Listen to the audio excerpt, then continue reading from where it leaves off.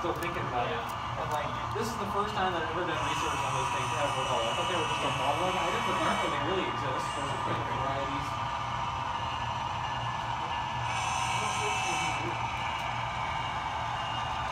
Apparently it's a very common, like, one of the design, one the design goals like this what I'm on